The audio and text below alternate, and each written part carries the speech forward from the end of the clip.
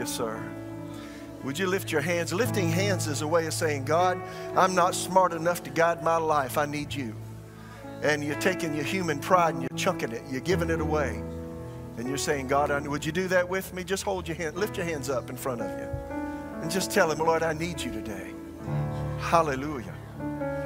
Lord, we thank you in the middle of all the mess the world is in. Underneath us are the everlasting arms. And we never get so low that you can't lift us up. We're not living by our wits, our wisdom, our strength. We're living by our confidence in you, sir. And we just want to say thank you with our hearts. We exalt you and worship you. Lord, I pray that every person in this building would uh, step up another level in their fellowship with you. For those that don't know you, I pray that they would come to you. Those that have known you and walked away, got, got involved in things that drew them away, draw them back. Lord, people watching online, I pray that the hand of God would move upon them and they would sense your presence and their need for you and acknowledge Jesus and let him rule them. Hallelujah. We just give thanks. We just give thanks. Glory. You know, I give myself away. I, um, I turned 65 uh, last weekend. you know, you reach after you go through the decades of life. I just I have a great memory for whatever reason. I can remember being in the single digits. I can remember all the way back to being a year and a half old. And then in my teens, my 20s, my 30s, my 40s, my 50s, now midway through the 60s, you know what I figured out? Absolutely the most important thing you'll ever do in life is give your life to Jesus. You can't take your money with you. You can't take your house with you. You can't take your car with you. You can't take uh, your, your, your, likes on Facebook with you and Instagram and whatever you do. But you know what you can't take with you? You can take your faith with you. Isn't that good? And you know what else you can take with you? The only thing you'll take in heaven to heaven with you is your relationships. Huh? Now, I've been asking the Lord about Susan because I, I, I want us to be married in heaven. You know, because I want her to live in my place. Will you live in my place in heaven, Susan? Because I've been my life with her, you know. The only thing you take is relationships. You know, let me talk a minute. Um, this thing with Israel, everybody's got their eyes on it, right? Now, I uh, gave a whole lesson on it Wednesday night. So if you didn't hear that, you weren't here, it's online. I did notice it got quite a few notices on Facebook and whatever. But uh, let me just talk about that a second because um, people are misconstruing what's happening. This is not the end of the world. Did you hear what I just said? Let me go further and say the Battle of Armageddon's not about to happen. Not yet. World situations aren't ready yet. According to what the Bible says, the life will be like it's not quite ready for all that to happen. Now, it's coming. But I, I, just noticed looking around and listening to what people are saying. Some people thinking Jesus is, I don't think Jesus is coming back yet. He's coming, but not quite yet. Now, if I'm wrong on the way up, I'll say, You were right, I was wrong. But just hear me out. But uh, here's what I do know Psalm 122 6 says this Pray for the peace of Jerusalem. May all who love this city prosper. Hmm. And then, you know, the next few verses of Psalm 122 says, O Jerusalem, may there be peace within your walls, prosperity in your palaces. For the sake of my family and friends, I will say, May you have peace. For the sake of the house of the Lord our God, I will seek what is best for you, O Jerusalem. You know, Jerusalem in the Bible called the city of the great king. You know, there's, uh, there's going to be a, a, new Jerusalem come out of heaven. It's a huge, I don't quite understand. It's going to be a cube that comes down from heaven 1,500 miles wide, deep, and high. And uh, you're going to be living there one day. Is that exciting? It's kind of strange. That's what the Bible, Bible says, somewhere right above where Jerusalem is now. So, so you don't mess with what God likes. So I'm just going to say this, and you do what you want to with it. Uh, God loves Israel. God loves the Israelites, even though they haven't acknowledged Him. A lot of them have not. Only Messianic Jews know Jesus as Savior, but God loves that nation because He gave it to Abraham. He gave that, parcel of land to Abraham. It's a big fight. The Palestinians say, well, it was ours. It's never been theirs. They've never been a nation. So, what my brother just said is true. Uh, uh, Israel will never leave that land. So, let me say this they will never be defeated by their, they'll never be destroyed and moved off that land. Now, they'll be attacked, but they won't be destroyed. Now, you just got to know that because I'm hearing all kinds of stuff, right? So, so with all the things people are saying, you want to err on the side of, uh, of who's going to win. And I tell you, you want to err on the side of what God likes. So, how many want to like what God likes? So, God likes and loves the nation of Israel. They're in sin, they're in unbelief, and they need Jesus. I've been there. I, my eyes stuck out on stems on I, I did, uh, stems at what I saw. I thought, wow, man, these people need God bad. But you know what? God loves the Israelites because Jesus came from there, right? So can we pray for them before we do anything else? Lord, we pray uh, for the peace of Jerusalem. We pray for uh, your hand on uh, your natural people for which came our uh, Messiah, Jesus Christ. Lord, we pray for them that the hand of the Lord would come upon them. And Lord, may they come to see Jesus as Messiah, Savior. In Jesus' name. Father, work a work in them in the name of Jesus and bring to pass all of the prophecies that, that have been given through your Old Testament prophets, uh, through John, uh, John, the Apostle John, through Peter, through Paul, through Jesus. Lord, through the Old Testament prophets, Isaiah and Jeremiah and uh, Joel and Zechariah, Malachi, Obadiah, name all of them. Let your word come to pass. And Lord, give us wisdom as we go through this era of time. That, Lord, we seek first the kingdom of God and get our eyes off of the distractions. They're everywhere. And we pray for the nation of the United States of America. And we just ask, God, have mercy on this great land. And we ask forgiveness for forsaking you and turning to idols in all kinds of ways. Forgive us. And let the mercy of God come once again. Lord, let there be spiritual renewal here in the midst of all that's coming. In Jesus' name. Lord, in this service, minister life to us. And we commit our time to you. You agree with all that? We always pray for another church. If you'll stick that church, this is Hosea Church. A good name for a church, right? Raleigh, North Carolina. Pastor David. Uh, uh, I memorized this. Birayujel. Birayujel. Can we pray? Whatever. Pastor David, we'll call him that. Lord, let your mercy and grace be on this church and let the Holy Spirit work through them and may they fulfill the purposes of God for which that church was planted in Jesus' name. May they not defer to the left or to the right. May they follow the Word of God. May they follow the Holy Spirit. In the name of Jesus, Lord, let your hand of mercy be on the pastor, David, there. I guess that's him there. And on the uh, members of the congregation. May they be used to reach their community for Jesus. And we just agree with them for the purposes of God to be fulfilled in Hosea Church in Raleigh, North Carolina. If you agree with that, say, I agree. All right, turn to greet somebody and tell them hi, and we'll keep moving. I, uh, God changed my message. I had it all ready, all polished, all ready to go Thursday, and then zip, there I go. You, you know, you just talk to the Lord, He'll talk back.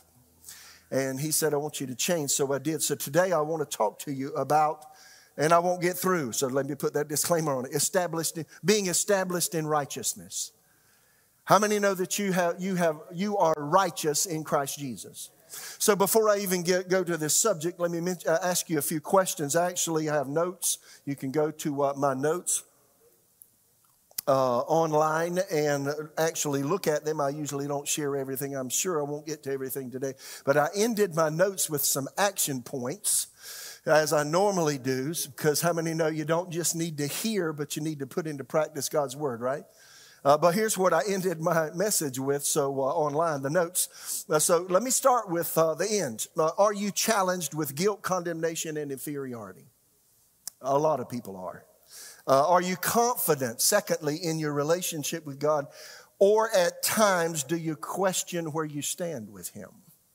Third question, do you experience peace in your relationship with Jesus, or you do still struggle with thoughts and feelings um, of insecurity? And then, lastly, fourthly, are you established in your right standing with God, living with a confidence in God that produces stability in your personal relationship. Did you know your relationship with Jesus will affect your personal relationships?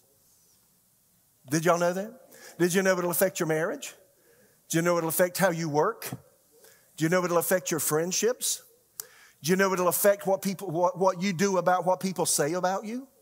It'll affect all of that. So, you know, let me mention this as we head into our future. I, I, think that one of the most fundamental foundations that we have in life is to be able to trust God and know that He's always there. And as Proverbs says, He's a friend that sticks closer than a brother and He loves you immensely. Yes or no? You need to know that God is for you and not against you. Proverbs 28 1. Uh, when I came across this scripture as a teenager, when I first came to Jesus, it, it really uh, it got my attention. Proverbs 28 1 says, The wicked flee when no one pursues. But the righteous are bold as a lion. I like that. Do you like that? I went on a safari in 2005 and I was in an open truck. They had no roof on the truck and no windows on the sides. And so we're, we're going through the uh, Serengeti Plains, which is one of the largest plains in the world. And, uh, and, and here come a pride of lions.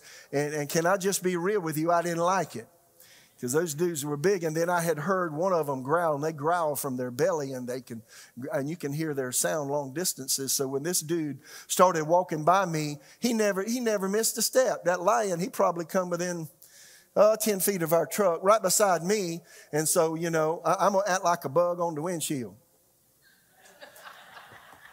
I'm going to sit inert. And he's, he walked, I, I never even moved my head. I just followed him with my eyes until I couldn't follow him anymore because that dude was bold now. He was, his gait said, You mess with me, you won't ever forget me. And I might be the last thing you see. That's what it was. So the wicked flee when no one pursues, but the righteous are bold as a lion.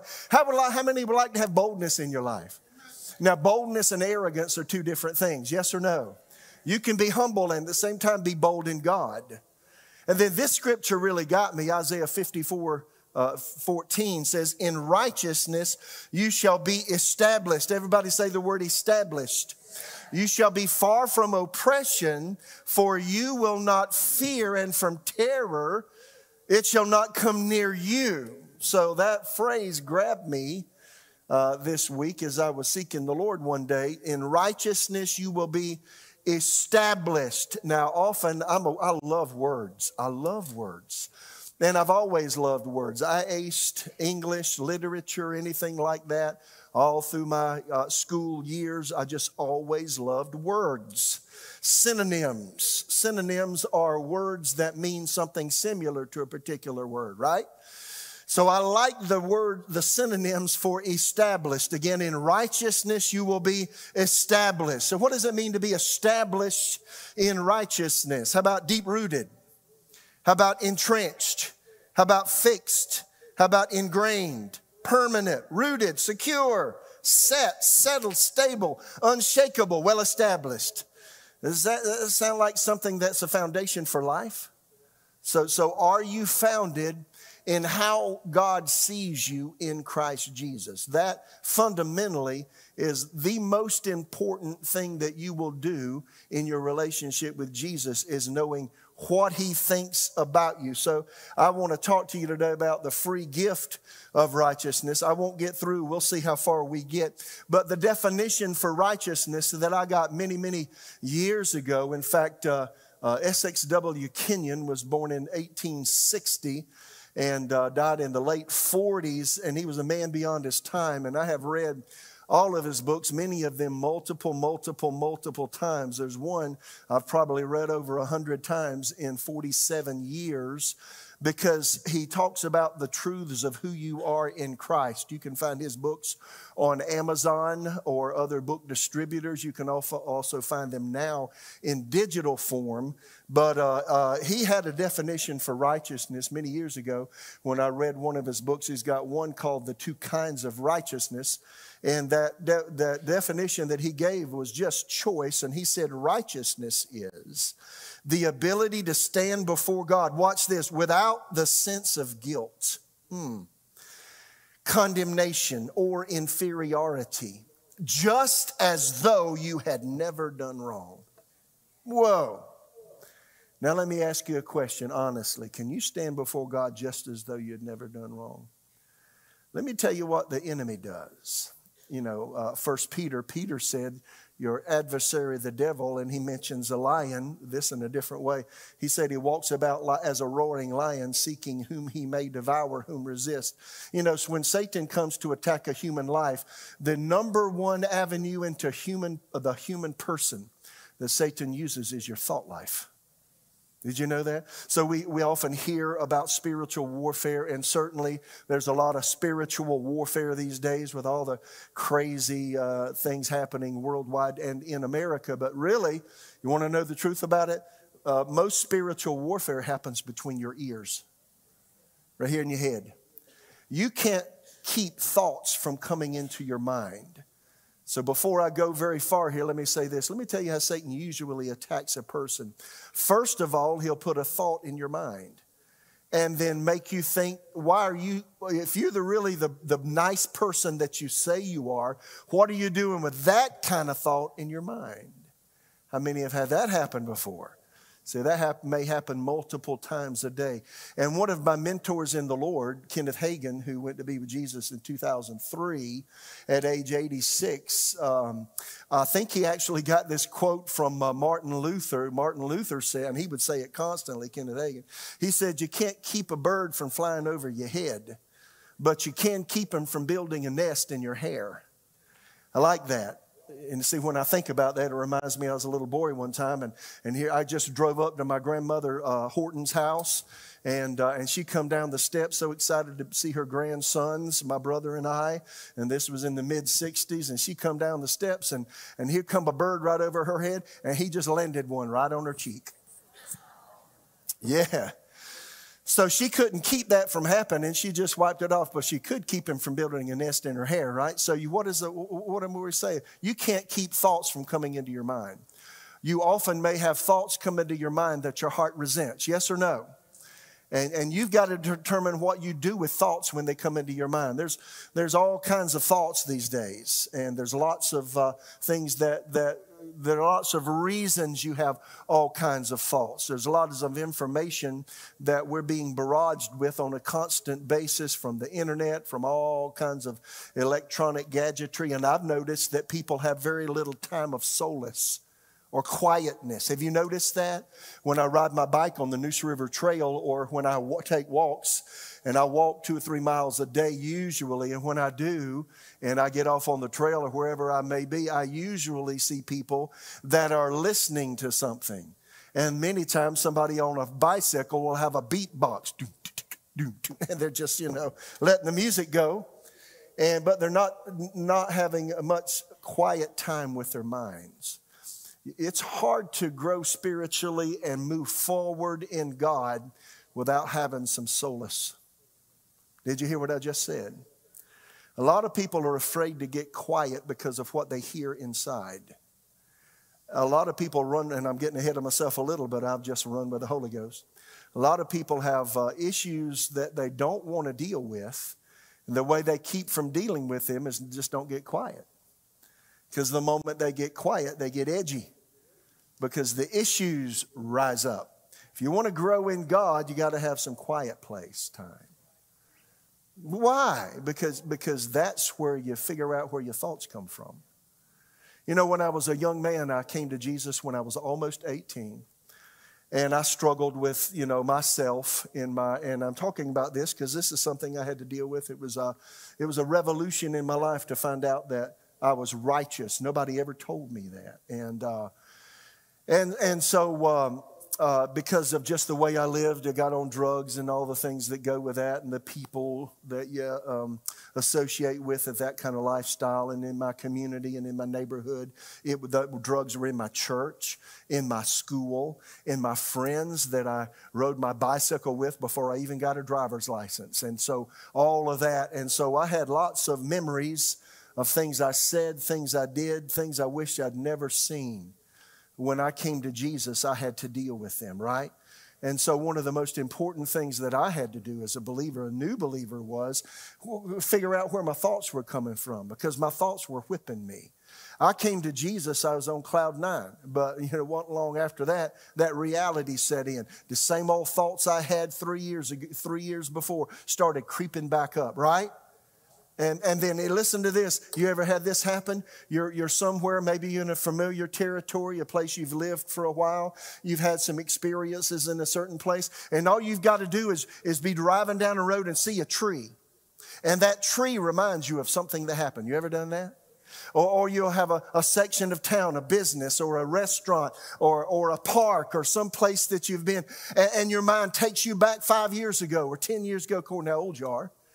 20 years ago, and there you were, and there's what you were doing. Or you can see somebody's visage, that a silhouette of somebody. Maybe you're in the airport, or maybe you're in a store, and you just, you know, you're doing your stuff, and you look up, and then this person reminds you of somebody you knew 10 years ago.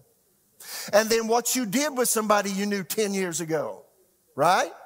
That's how thought association works in a millisecond of time for all of us. Or, or, or the olfactory glands in your nose. I have an acute nose like a dog. Maybe not quite that bad, but I can smell most anything.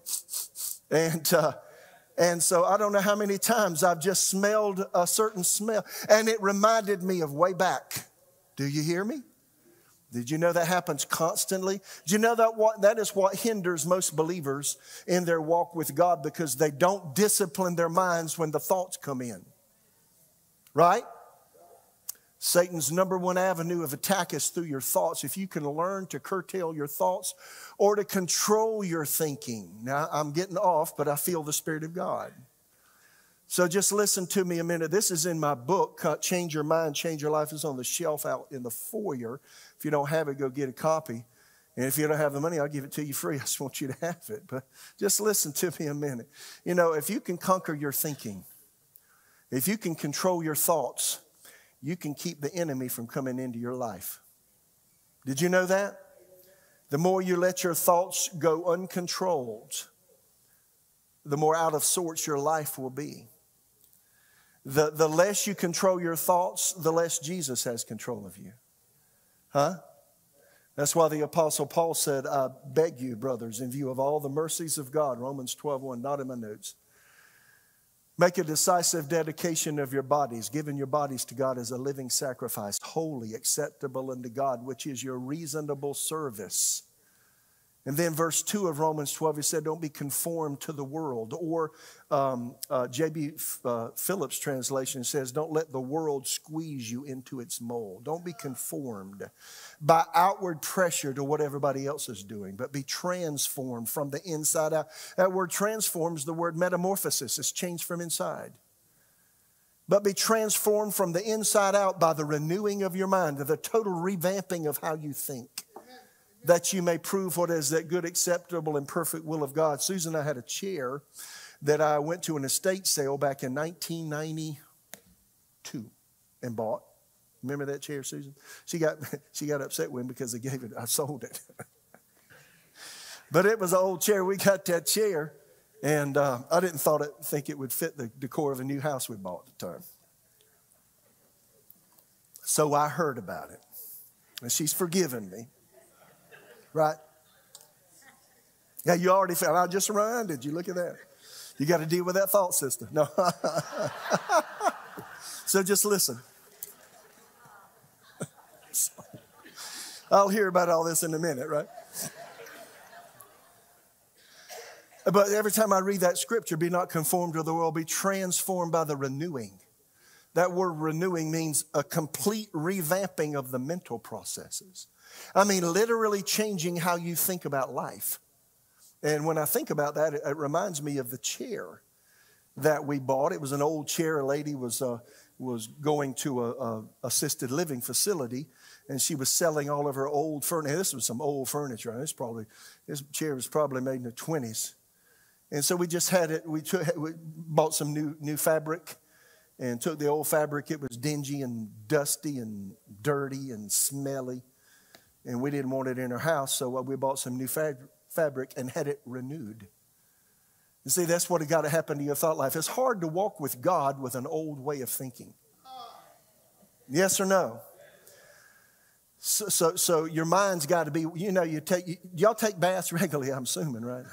I can smell you if you don't. But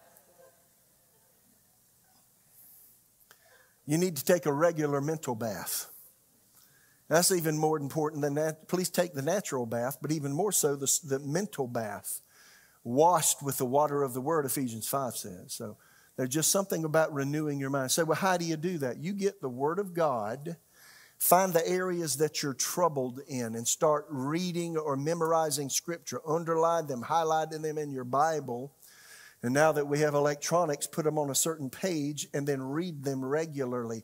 That's what I started doing as a young believer. And then I started figuring out where my thoughts come from. And listen to this as a new believer, I, uh, you know, I got to thinking, how, how do I know which thoughts come from me, which thoughts come from God, the Holy Spirit, and which thoughts, you know, they just come because I'm in, I'm, I'm just in, you know, um, I'm in uh, fellowship with other people and I'm just living in the culture I'm in. How do I know where the thoughts come? Here's what I thought if I can figure out where my thoughts come from, then I can figure out when God's speaking to me. How many know it's pretty important to hear the Lord's talk to you? It's really important. But, but you'll never get there unless you start working on your thought life. Now, I'm saying all of this because the weapons of our warfare, uh, 2 Corinthians 10 says, are mighty in God to the pulling down of strongholds. Then it says, casting down imaginations, or one translation says, vain reasonings. And every high thing that exalts itself against the knowledge of God, bringing every thought into captivity to the obedience of Christ. So, you know what he was just talking about there? Spiritual warfare between your ears is when thoughts come to your mind that tell you you're no good, that remind you of where you were, remind you of what you did, remind you of what you said, remind you of how you failed and how you missed it. How many know that Satan is a, is a, is a master of reminding you of what you're not? Huh? And then, as a parent, you always tell your child what they're not, you're not parenting properly. Yes or no? Your job as a parent is to love your kids, show them what to do, show them how to do it, and then help them do it. Yes or no? But a big part of being a parent, I don't know why I'm saying that, Holy Ghost. Big part of being a parent is encouraging your kids. Let me tell you how you can tell if you're doing a good job or not. You want to hear it? when they're grown, they'll want to come back and talk to you. Because you won't be the authoritarian in their life long. And what you do in those young years will determine what they do with you in your older years. And I promise you, you want your kids to come see you. Did you hear me? And you want your grandkids to slap your legs and call your name. That's what mine do. They just grab my knees because I'm so tall, you know. And you want them to say, I love you. If you do it right when they're young, they'll do you right when you're old. Huh? Because sooner or later, that uh, authoritarian person will leave. And then you will only be able to, if you did it right when they're young, to be their confidant, their friend. You'll be a person they can trust because they know you're not going to try to tell them what to do, but you just want to be their friend and let them talk. Yes or no? So when a child is young, it's important that, that parents train them right. And so part, part of your job as a parent is to encourage your children. Yes or no? Huh? Tell them they're worthwhile. Tell them they can do it. Don't tell them, you reckon you'll ever do anything right? Don't say that. You, ought to be saying, you know what? Good's inside of you. Jesus is inside of you. Huh? Put something in them. Don't take something out of them. In fact, in every relationship in life, did you know you ought to put something positive in people? There's enough of negative around. Would you agree? Having said that, one of my responsibilities as a pastor is to reprove, rebuke, and exhort, right? That means call it like it is. And there's a place in life for saying, you know what, dude, that's just flat out wrong. And you know what? We won't be doing that here, right? You got to have standards in your life, in your home, yes or no? Boy, I'm sure not even near my notes right now. But I feel the Holy Ghost saying something to somebody. Somebody in the room, and I think you're online too, you need to straighten up what you're doing at home. I don't care what kind of a Bible thumper you are. I don't care how many scriptures you can quote. I don't care how long and tall you can pray and how wonderful people think you are. What you really are is what you are behind closed doors. And how you really think and talk is what, how you talk to your spouse and your children. Yeah, that's you. That's not the pseudo you, that's the real you. The pseudo you wears a suit and puts on a mask and looks fine. Huh? But the real you is seen behind closed doors. Right? So how you doing with that? There's people in the room, you need to straighten this up. I just want to encourage you. I'm serious. Listen, we, we don't have a whole lot of time left in this life. And while your children are small, you know how many times, I, Lord, I, I never planned to even go here. Why? I can't tell how many times I, I, was thinking about it. It's funny, I was praying yesterday and these thoughts came into my mind, but I didn't know I was going to say this. I don't know how many times I went to my children's rooms, got on my knees, and just looked them in the, in the, in the face and just said, My Daddy did it wrong. I shouldn't have said that to your mom or you, whatever.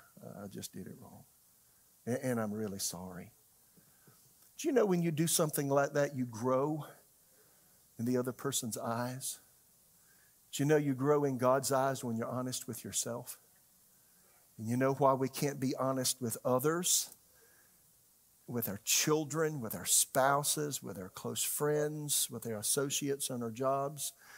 Often we can't be honest and call it like it is because we feel so badly about ourselves. And it's just one more thing that you feel bad about. You can't admit it. But when you know you're righteous, everything changes. Did you hear me? Satan's uh, number one line of communication is through the brain, through the mind.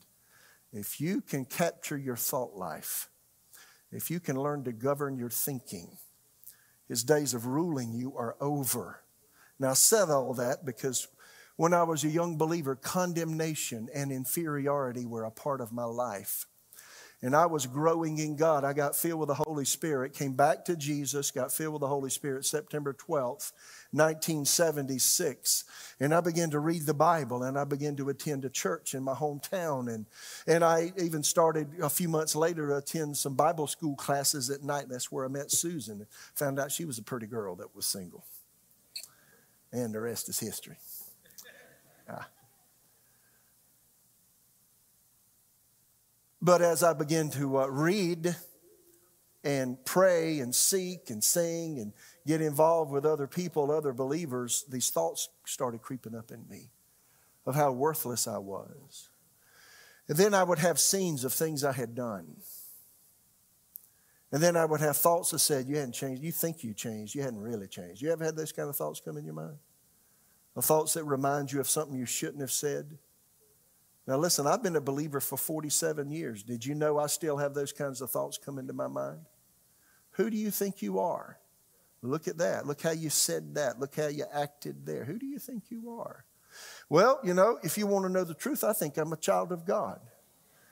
I think I'm a, an imperfect human being who's been cleansed by the blood of Jesus. And I've been favored by God, not because of anything I've done, but because of everything He did. Did you hear me? When you start living that way, it changes who you are. Do you know if you get a hold of who you are as a righteous person in God's sight, did you know it'll transform how you relate to people? Did you know people will no longer be able to control you? If you're a, a, person that's easily controlled, you're easily swayed by fear and other people's opinions. And then if you try to control other people, did you know you're likewise full of insecurity and fear? Because you're afraid of the outcome if you let another person be themselves. Let me tell you how Jesus is. Let me tell you how God the Father is.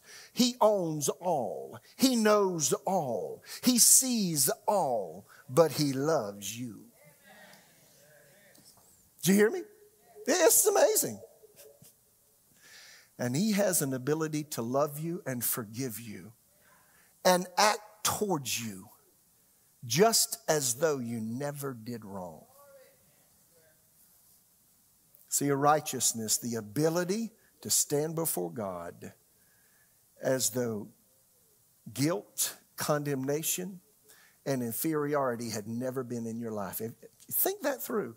What would that be like in your life if you never thought as being an inferior person to God? Now, having said that, you know, some people arrogantly say, well, God loves me, and they're living in sin. How many hear me? There is no peace, says God, to the wicked. Their life is like the troubled sea. You can say, I have peace with God, but you're living in sin. There's no way. You're trembling on the inside. I was one day I remember I was I was high as a kite smoking pot as a teenager. And on the inside of me, I just had an inner knowing. I was saying, like, oh my God, what if I get caught? What if the police catch me? What if the principal of the school catches me? What am I going to say to my parents? What's going to happen to me? Am I going to be put in? I was constantly, constantly agitated. If you're not walking with God, listen, you are agitated. And when the pressures of life come, that agitation can be really strong. Did you know that? A few times in my life, y'all okay? I'm just wandering around here. This is not my normal way, but I feel like it. A few times in my life, I have been absolutely alone. That is when I travel to other nations. Many of you have done that. If you've been in the armed services or your job has taken you to other cultures, other lands, and, uh, and you're by yourself, traveling by yourself. I've many times traveled on long haul flights alone, gone through airports alone. Uh, thank God the attendants at the you know gates and such were trained to speak English, but I'm in a completely foreign land. I've been to hotels, and the only person that sp- spoke English was moi, me. That's it. You turn in a TV on, radio on, it's another language. And, and, and during those times, you feel completely alone. Have you ever felt completely alone? Well, let me tell you what happens when you feel completely alone. You find out who you are real fast and you find out what your value systems are. Did you hear me? And you find out what, you, what your inner strength is when you're by yourself. Did you know that? It's true. If you've never been alone, you don't know yourself well yet. But I can tell you in those alone times, somebody rose up inside of me, and he happened to be the Holy Spirit. And you know what he would do? He would remind me of the promises of God and remind me that I'm with the Lord and I have a good standing with him. Do you know that makes all the difference in the world? In our future, great darkness is coming. Listen to me. I don't like what I have to say, but there's some terrible things coming to the United States of America that we've never experienced before. I can't even tell you how, when it's going to happen. I can't tell you exactly what it looks, look like, looks like. I can tell you, I can tell you lots of things about it, but I can just say it's not good. And see who you are inside comes shining through when the pressure points come. So, who are you? That's why righteousness, knowing who you are, will make all of the difference when tough times come. Right? You know, I traveled uh, with a, a, missionary, Bruce McDonald. Uh, in fact, he told me over the, I don't know, I traveled with him maybe uh, 15, 16 years. Uh, sometimes a couple of times a year, several weeks at a time. And he finally told me I was uh, I had traveled more with him than any other pastor. And then he told me there were people we, that we would go to some pretty, uh, you know, tough places. No, no running water, no electricity. Nobody could speak your language. And then you've been with me. You know, you know what it's like. But he said there's certain places, and that the demonic world was strong in some of those places. And he would find, he, he at times found pastors who just lost their mental equilibrium, or, or businessmen that went with him. See, when the pressure comes, who you are inside shows up. 1998, November 1, there was a plane crash, a ministry that we support, and I was one of the people. Some of you in the room may have been there too. We had eight people from our church there. The plane crashed. And the most unusual thing that I saw was people actually hallucinated because the pressures, the mental and emotional pressures of knowing people they worked with for a whole for a whole week in a, in a, in a deserted place ministering the gospel were on that plane and died. And when that, when that news came to the campus that I was on, in, Susan was with me, she remembers. Uh, pe- people were hallucinating and really just kind of lost it mentally.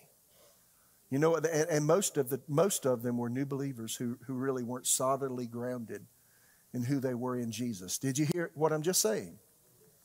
That's why the most important thing you're going to do, I said in a roundabout way, is control your thinking and know who you are. Right?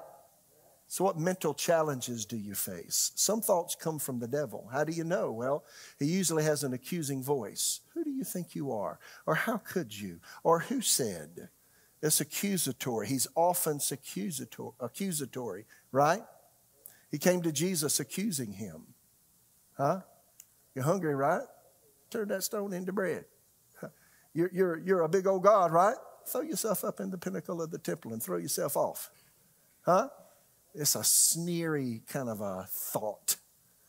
It's the enemy. Anything that seeks to drag you down. Now, sometimes human beings can be used by the devil to drag you down. Yes or no? Let me just say you're being used as a tool of the enemy if you, if you tell and remind people of their past on a constant basis. Husbands, if you talk, constantly tell your wife what they're not and what they didn't do, how many times they didn't do it, you're being used as a tool of the devil. A lot of wives said, That's right. And then, ladies, the same way. Your man comes in the door. All he needs is a, an attaboy. You doing good, son? Come on. Good boy. I love you, hub. But if you tell him he forgot to take out the trash and the yard hadn't been cut in two weeks, and you know there's a crack over there in the wall that you need to fix, and that, that room needs painting, and when's the last time you checked the car? There's a light on on the dashboard. What you gonna do, boy? How many know you're not helping him, you're hurting him?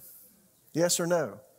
Having said that, husbands, you need to be man, man up and you need to listen if she says something, right? Huh?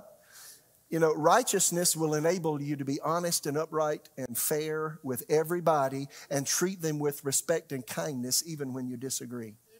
Yes or no? Well, I don't know how I wandered into all that, but I did. I'm talking about your thought life.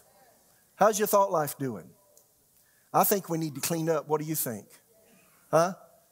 I mean, how about this? Do you take, let me ask you some questions. Do you have some times throughout the day that you just muse, that is, you think? Do you have times during the day that you think out loud? You say, what do you mean? Well, do you meditate the Word of God? Huh? Do you have times during the day when you cut the radio off in the car or cut the MP3 player off in the car. I've got one in my truck and I listen to stuff constantly. But there are times I just sit back. Yesterday, I took almost a three mile walk. And I thought I was going to listen to a podcast, but I ended up talking to the Lord and, and thinking about Scripture. Do you hear me? And there's sometimes I go on a long distance bicycle ride. I think, well, I'm going to listen to this particular book because they got online books you can listen to, you know. I said, well, I'll listen to that. And instead, I've spent the whole time just meditating. I spend some time just about every night. I don't know, I wake up about 3 o'clock every night. And I don't count sheep because there are no sheep to count. But you know what I do? I let Scripture revolve over and over. I just sometimes start with the book of Matthew and go through the whole book. Or sometimes it'll be a theme scriptures on faith, scriptures on healing, scriptures on forgiveness, scriptures on mercy, scriptures on faith. Or sometimes I just go through a book of the Bible and scriptures that I know and have memorized. I just let them go through my head. Now, what, what am I doing when I do that? Meditating. What will meditation do? Well, you know, it'll straighten you out inside and it'll create an environment of peace and an environment of right standing with God inside. Yes or no? It's amazing. I had seven points I was supposed to get to. I hadn't even given you the first one yet. How many think the Holy Spirit's talking to you? What are you doing with your thought life, guys? Seriously, we all need to deal with it. There is an, a barrage of thoughts that are coming from the enemy. He's using people, he's using entities, he's using businesses, he's using music, he's using all kinds of things. Media outlets, individuals, and it's constantly, constantly um, uh, beating on you. What are you doing with it? If you're not counteracting it, you're imbibing it. Yes or no? If you're doing nothing with it, it's getting inside of you and it's changing your thought patterns. Have you ever thought this or had somebody say this to you? I thought that person was a believer. How could they be saying that? Or how could they be acting that way? Well, I'll tell you how. They've done nothing with what's in their thought life. Huh? All of us are the same.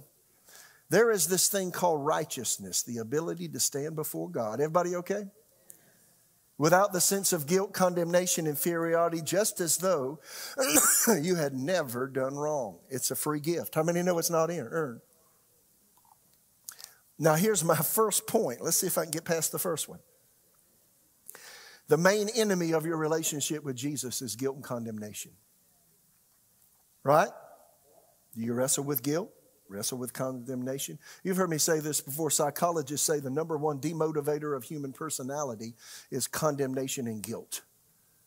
It's the number one demotivator. It keeps people from doing what they perhaps could do. Yes or no? And then, spiritually speaking, guilt and condemnation will pull the rug out from under you spiritually. Did you know that? It's kind of hard to relate to a person. Do, do you like to be around people who are constantly cutting you down? Let me ask you, do you like to be around somebody who, who the way they talk to you is kind of sarcastic in tone and, and the way they phrase things, you know, it sounds okay, but underneath the surfaces, they make you feel like they don't think you're doing what you should be doing? You ever been around a person like that? How many just enjoy having lunch with somebody else? Would you please raise your hand? No, nobody likes that. Uh, maybe that's why, maybe that's why uh, Thanksgiving and Christmas is challenging at home when all the relatives come. Huh? The family tree comes. There's squirrels in every family tree. Right? And then, and then, you know, you just don't want to be on one certain person. They're just always telling you what you're not, or showing you how much better you, they are than you.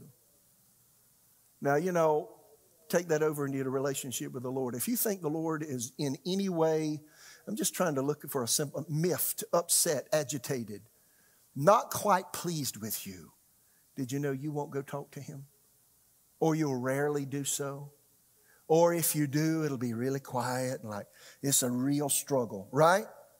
That, that, that's the way it is. So, uh, you know, let me say this. I, I was raised in church 18 years, almost.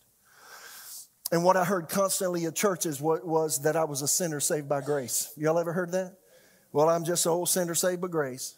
I heard that all my life. I heard it on Sundays. I heard it from the head deacon, the second deacon, the third deacon, the tenth deacon. I heard it from a Sunday school teacher. I heard it from the pastor. I heard it from all kinds of people at church. You're a sinner saved by grace. And, and, and the basis for that was Isaiah 64, verse 6. But we all are like an unclean thing, and all of our righteousnesses are like filthy rags as, as we all fade as a leaf. Our iniquities, like the wind, have taken us away. Our, your righteousness is as filthy rags. And I'd hear, well, my righteousness is like a dirty rag. I'm just like a dirty rag. Well, I don't like dirty rags. I throw them in the washing machine. Clean those rags or throw them away. Huh? No, no, it's not my righteousness. It's something Jesus gave to me. My righteousness means nothing. My good works mean nothing. But you know what? When you find out what he did, it makes all the difference in the world, right? I never heard, I never heard the term. Did you know you are the, you are the righteousness of God in Christ? I never heard the term until I was 18 years old. I never in my whole life heard that. Here's what I began to think after I really came to Jesus and really understand the Word of God. Here's what I learned to say I was a sinner, I got saved by grace, and now I've been made the righteousness of God in Him. How many of you are believers? Raise your hand. I want you to say this out loud and, and, and, notify yourself as to what it feels like when you say it. Say it. Because of Jesus, all of my sins have been cleansed. To him, it is as though I had never done wrong. I have been made righteous. I have an ability to stand before God just as though I had never done wrong. Now, how does that feel inside? Doesn't that lift you up? How often do you say that about yourself? You say, well, if I said that about myself, it'd be braggadocious. Well, who are you bragging on? It's not your righteousness that somebody gave you. It's Jesus' righteousness that he gave to you. And there's nothing wrong with bragging on Jesus. Every time I say I've been made the righteousness of God in him. In fact, when the enemy says, remember, remember Mitch? Remember, you were preaching 33 years ago in the church that you started in the small town in South Carolina? Remember when you stuck both size 13 uh, shoes in your mouth at the same time and said something really dumb? And then everybody looked at you with a poker face, like, what is that pastor saying? You remember, remember that? You're no better than that right now. Did you know when the enemy says that or other things to me, you know what I say? Well, that may have happened way back then, but you know what? To God, it never happened. And to God, He has no record of what I did wrong. And to me, it's as though it never happened because to God, it's as though it's never happened. So shut up and get out of here. I've been made the righteousness of God in Him. God has forgiven and cleansed all my sin. Yes or no? Knowing this is, hey, I get to point two. What says? Knowing that you're righteous in Christ can give you an inward confidence that will boost your spiritual life and enable, enable you to do six things. You want to hear what they are? Six things. Number one, if you know that you're righteous, you can live with a confidence that God is for you and not against you. Now, what will that do in the challenges of life? You won't run from God, you'll run to Him. When you make a mistake, you won't run from Him, you'll run to Him. Right? Yeah. Second thing it'll do is you'll be free. It'll enable you to be free from self condemnation and guilt. I'm going to come back to that one in a minute. Thirdly, you'll be released from your past failures and mistakes. How many times throughout the day you think about what you could have, should have, or would have done? How many times throughout the day you think of what you used to do or you have done and it brings some angst to your life, right? I mean, can I just get real? I mean, if you've been divorced and you were the problem, I'm just going to tell you, you think about that a lot. Or if you've sinned with a bunch of people, I'm just going to tell you, you, that comes up to your mind. You can't keep thoughts from coming into your mind, but you can do something with them when they come. And that's where righteousness comes into play. When you know that God, when He forgives, He absolutely forgets your past and He acts towards you as though you never did anything wrong. That's better than you're saying. Did you hear me? He acts towards you just as though you never sinned. Is that good or what? There is no psychologist that can impart that to you. Huh? There's nothing you can do, there's no program you can take to absolve the guilt sense because of the things we've said or done, like the blood of Jesus can. Hebrews 10 17, their sins and lawless deeds I will remember no more. Isaiah 43, 25. I, even I, am he who blots out your transgressions for mine own sake and will not remember your sins. Micah 7, 19. He's cast our sins into the depths of the sea. Corrie ten Boom said, don't go fishing. Right? Isn't that good? So how much does that come up into your mind? See, when these, when the enemy tries to remind you of your thoughts, or, or your past and he brings them up into your thought life. You need to remind him, you know, to God, it's just as though I never did that.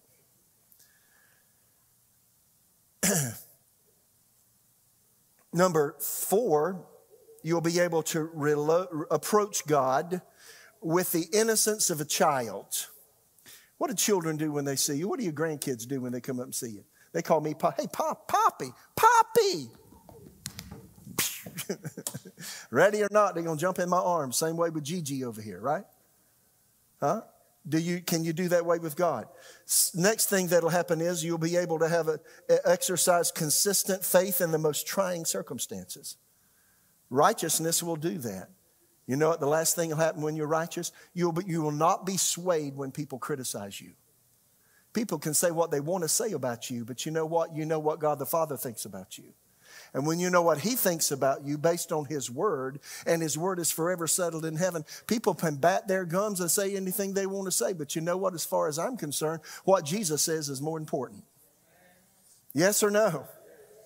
You know, I, I and I have mentioned this many times, I, I am guilty of having an obsessive mind.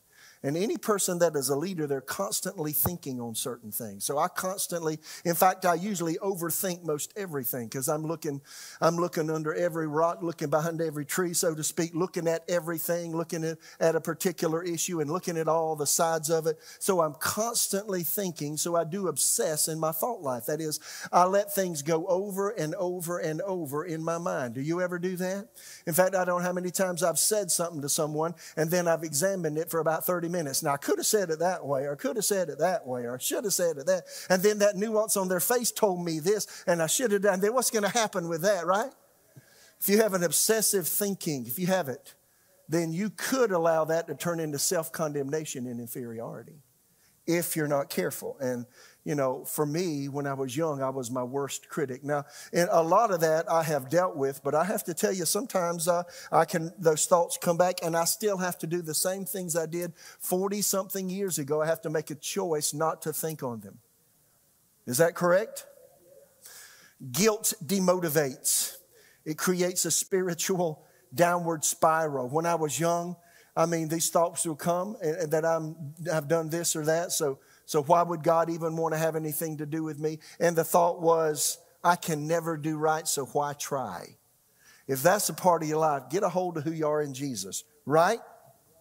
A lot of people try to escape the pressures that they sense on the inside because of the guilt and the condemnation they sense in lots of different ways. Some people uh, imbibe alcohol, some drugs, some over-the-counter medications.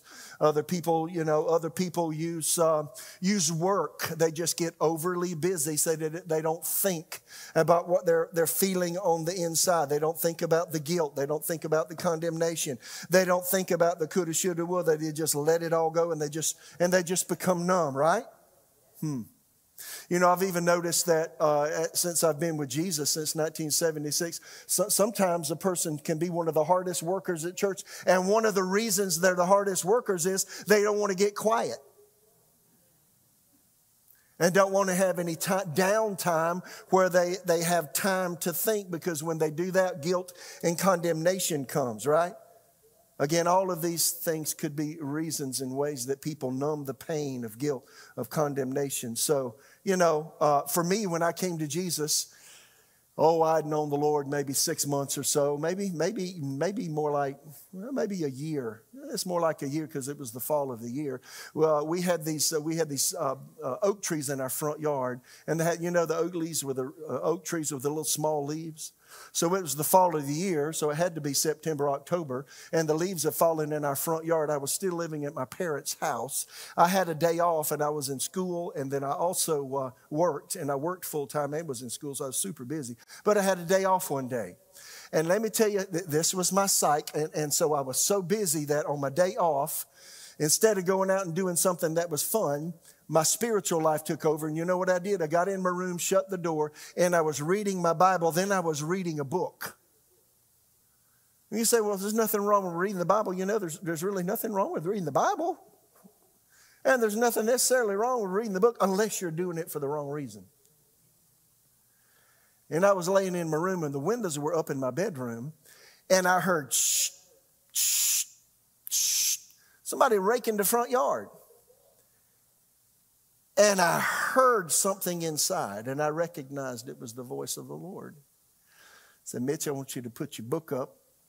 I want you to close your Bible and go out there and help, help rake the yard. I said, I don't want to rake the yard. I want you to go rake the yard. I said, Well, don't you like what I'm doing? I want you to go rake the yard. He didn't say anything about what I was doing. You know why? I was reading my Bible to feel right with God. I was, I was reading the book so I would feel right, like I was doing something to earn my standing with God. Let me go a step further. When I first came to Jesus, I had fast days every week. I'd fast like Tuesdays, Thursdays. I'd fast all day. And I had a hard job too. I was working in the grocery store as a little boy, you know, 18 years old, 19 years old. And it was tough physical labor. But I would eat nothing all day. And I thought, God, you, you know, must be pretty proud of me. You like me, right? There's everybody else, and then there's me, you know. You know, God, you need a lot of people like me. I mean, how stupid is that, right? And you know what God said to me? Mitch, I want you to stop fasting because it's not doing you any good. Because that's your righteousness, not mine. So if you've got to do something to be right with God, you got the wrong stuff going on, my friend. How many hear what I just said? So laying on that bed that, that day I had that day off, I shut my book, I shut my Bible, I put my jacket on and put my shoes on and went outside and uh, I helped my mother rake the yard. And God taught me a big lesson. Now every time I rake my yard, you know, it, it reminds me you can't do to be. You have to accept who you are. Is that good? Titus 3, 4, and 5. But with kindness and love of God our Savior towards man appeared when it appeared. Not by works of righteousness we have done, but by his mercy. But according to his mercy, he saved us through the washing of regeneration and renewing of the Holy Ghost. How many know Jesus wants you to be free of condemnation? I got all these notes that are staring at me, but I think I'm going to stop right now because I think I've said a lot. What do you think? How you doing with your thought life? What are you doing? Get a hold of who you are in Jesus. I'll come back to this next week. I got a whole lot to say about what Jesus did for us and what righteousness will do for you and what it produces in you. Can I encourage you to do, go on a journey with me? What if you took um, What if you took ten minutes every day? Oh, five minutes, and and cut everything off and just got quiet and got to Scripture and just let them and just said them out loud over and over again. Question What do you think that would do for you? I'll tell you what it'll do. It will start changing you. Did you hear me? Go back to my notes. Thank God for your right standing with him. We're going to get into this a little further next week. 2 Corinthians 5:21 is one of the verses I'm sure we'll probably cover. For he made him, God, made him Jesus to be sin for us, who knew no sin that we may, might be made right with God through him. See, when God made you righteous in Jesus, two things happened. He completely forgave everything that you've ever done because when Jesus went to the cross, he completely owned who you are. Your drug addictions, huh? Your lusts, your nasty words, your vulgar thoughts, your prideful dispositions, huh? Your selfish tendencies, right? Huh? Your sexual exploitations. Jesus became that for you. Him who knew no sin was made to be our sin sacrifice. Woo-hoo. Jesus took it. I used to could curse pretty good. Jesus took all that. Isn't that great? I used to lust. Jesus took all that.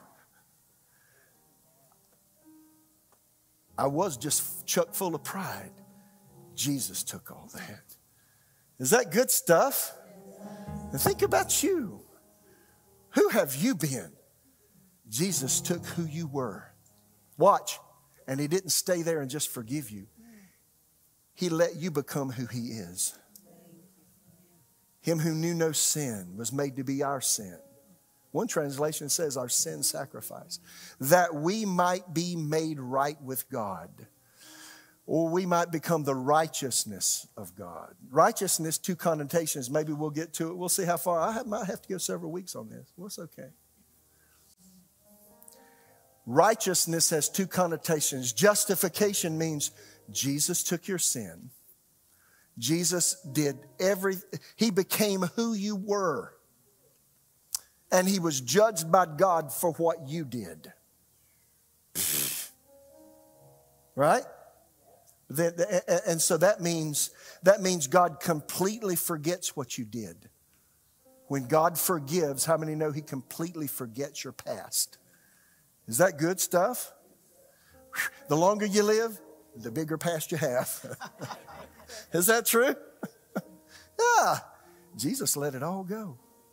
But he doesn't leave you there. Second thing he does is positive. He lets you be who he is, righteous. He gives you an ability to stand before God just like him, him who knew no sin and he lets you stand before God just as though you never sinned. Is that good? That we could become the righteousness of God in him. Think of it. Wow.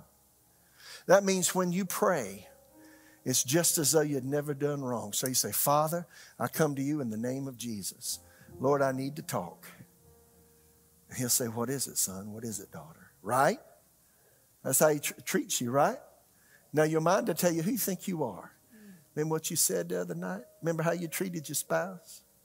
Remember what you said? Remember what you did, right? No, God forgets if you confess your sins, right? There's a whole lot more here than I'm able to say today, but did you get what I said today? If you can get a hold of this, it transforms your life. I'm not kidding. And that way, every time you have a challenge, every time you have a problem, instead of running from God, you run right to Him. I, I, I, can just tell you it's a great way to live. Huh? This side of heaven, you're probably not going to reach ultimate perfection, although you ought to keep changing and getting better. Yes Amen. or no? Amen. But when you do wrong, we have an attorney with the Father, Jesus Christ, the righteous one. Is that good news? Ow! I like it.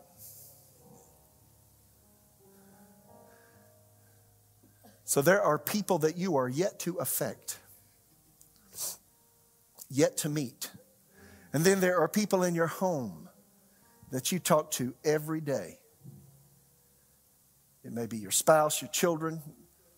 And then there are people you text on a regular basis. Might be your children that are grown, might be your grandchildren. Every person that you see, God wants you to be a positive influence on them the way that you become a positive influence is know the positiveness that Jesus placed in you when he died for you and was raised from the dead. Did you hear what I just said? You get, we, y'all, now's the time to be rooted and grounded in that, right? Huh? I got more to say. I got all these points, and what I'm about to say will be covered in the points whenever we get to them. But if everything I'm saying and you feeling like, I just feel like a louse. Well, you know what? If you're living in sin, you're not going to feel right. A lot of believers today have given themselves permissions to do wrong, and the Holy Spirit's grieved in them. And when the Holy Spirit's grieved, you won't have the sense of joy, and you won't have the sense of peace, and you won't have the, the sense of acceptance from Jesus. Did you hear me? He's the one that brings that to you. And if you say things that grieve him and do things that grieve him, he'll just be quiet. Does he leave? I didn't say he left. He just gets quiet. He's grieved. In fact, that's why Paul said in Ephesians 4 grieve not the Holy Spirit of God, whereby you're sealed. Right? So if you're here, you're watching online, you've grieved the Holy Spirit. Because you do, you're involved in things that you know will, will hurt you, not help you. But you know what? You can still come to God and repent. Is that good news? Or you may be here today in the room, or you may be watching, and you've never embraced Jesus Christ as your Savior from your sin. You say, Well, what if I don't? Well, then you'll spend eternity in a place called the lake of fire. There is a hell, there's a heaven. And I can tell you, life can be snuffed out very rapidly. I've, uh, I've, I've said this many times. I've come close to death six times. And every single time I've come close to death, I tell you, I didn't know it was coming at the moment. It suddenly happened upon me. And the first thing you think about is your relationship with the Lord. I can tell you right now, that's the first thing you think about. That happened two times before I knew the Lord. And I said, Oh God, please don't let me go to hell. Please, please, oh God, please. That's the first thing I thought. After I knew Jesus and that, and that experience came, well, my first thought was, Is it time for me to go into eternity? Because I knew I was right with the Lord, right? Right? So, how about you? Are you right with God? Somebody said you're not ready to live until you're ready to die. Huh? If you're ready to die, you know what? You'll do anything God tells you to do anywhere He tells you to do it, and you'll be bold as a lion. Because you know, if God be for you, who can be against you?